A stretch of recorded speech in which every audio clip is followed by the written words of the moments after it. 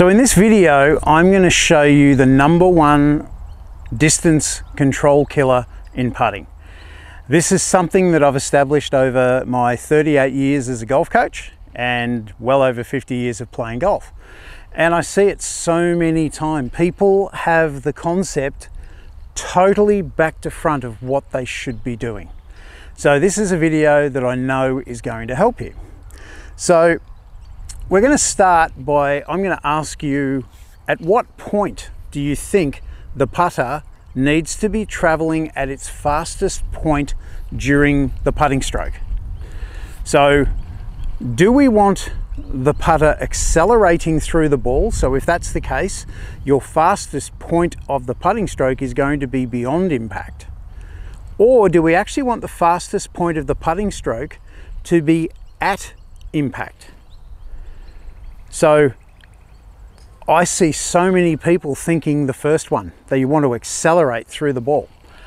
That's the reason most people have poor distance control when they putt.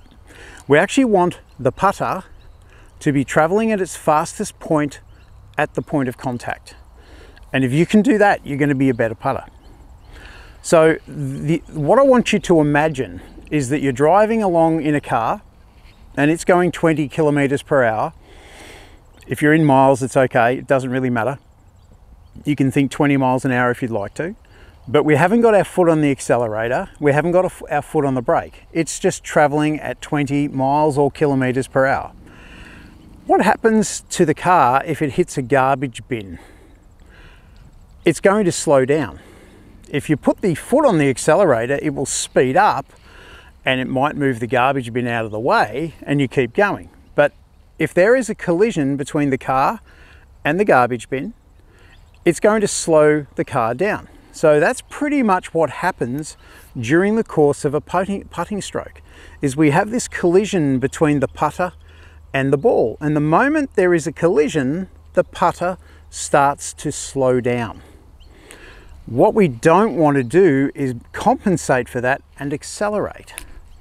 So the first thing I want you to practice is that when we putt without a ball, we want to maintain our tempo all the way through, but the length of the backswing and the length of the follow through should be the same. We could call that symmetrical if we wanted to. So it's really the same length back and the same length through. When the ball gets struck, however, it's going to slow down the putt. We're not decelerating, but due to the collision between the face of the, the putter and the ball, the club starts slowing down. So without a ball, it's the same length back and through. With a ball, we actually have a shorter follow through. Yet what I see the average golfer do is they take the putter back low and slow, and then they have a massive acceleration and they have a big follow through. And that can work. I've just hit a half decent putt. But what won't, it won't work under pressure and it won't work consistently. And what I did there is I actually topped the putt. Because I was taking it back low and slow and I started accelerating, my putter was rising too much and I've actually hit above the equator of the ball, which has actually killed the distance. And how many times have you been out on the course and you've hit a putt and you think, wow, I feel like I smashed that and it hasn't even got to the hole? That's what's happening. So the next putt you, you then go and do, and you, you think, oh, I've got to hit this harder, and all you're doing is you're then hitting lower on the ball and all of a sudden the ball goes another eight foot past. And you think, that didn't feel like I hit it that far past. That's because you've got it all wrong. And I said at the start of the video, you've got to do the opposite to what, to what you're currently doing. So what I want you to think of is that it's actually the backswing that's controlling the distance that you hit it. And we want what I have what I describe as dead acceleration. It's not deceleration, but due to the impact of the putter colliding with the ball, the putter slows down, so it's dead acceleration. So I could put a tee in the ground there, and I'm going to have a go at hitting a putt.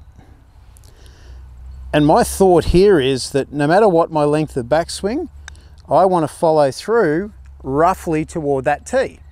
Now in doing that, I then did, I did decelerate. I really stopped on it and I didn't even get to the tee. That's come up well short. So we don't want that one. The one that we want is dead acceleration. So that's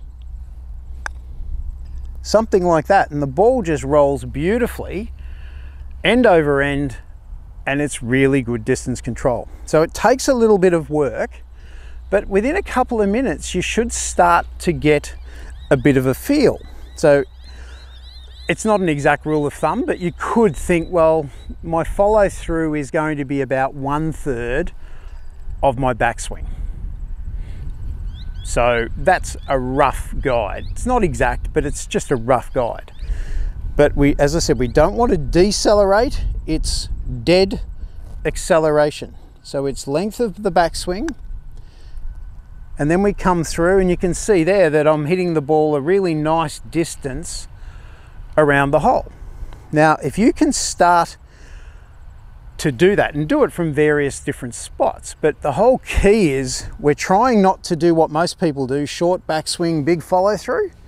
We're trying to have a bigger backswing and we want dead acceleration. We don't want it to decelerate, it's dead acceleration. And there is a fine line between it.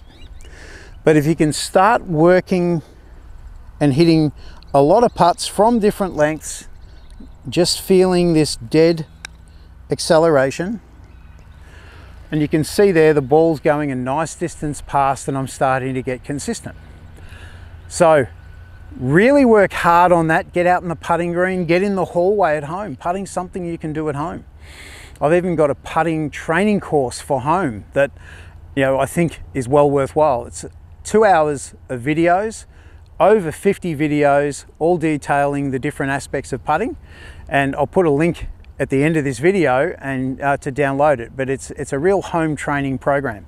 So if you think about it, if you have a putting mat and some balls, how long would it take you to get bored? Three minutes at the, at the, at the, at the least. so what I've done in this video is basically it's, it's a template on how you can practice your putting on a putting mat at home. I filmed it in my kitchen. So I don't have a facility. It's just a six foot putting mat in my kitchen and it's a well worthwhile uh, little training course.